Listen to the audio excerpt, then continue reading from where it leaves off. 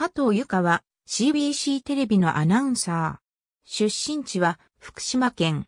1997年 CBC にアナウンサーとして入社。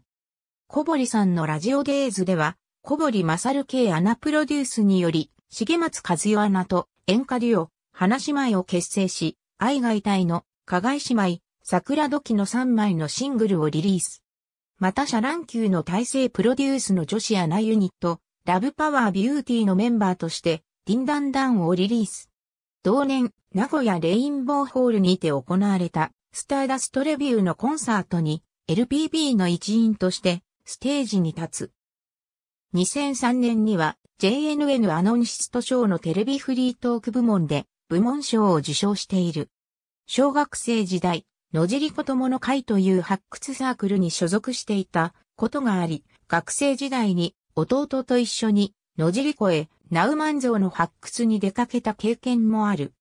中学校は、新ヌ。電波少年で有名になったタレントのナスビと同じ中学校である。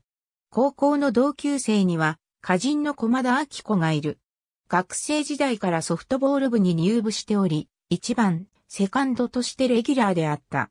大の読売ジャイアンツファンであるため、当時のジャイアンツのセカンドであった篠塚和則内野手のバッティングに憧れ、右投げ左打ちで活躍していた。ありがとうございます。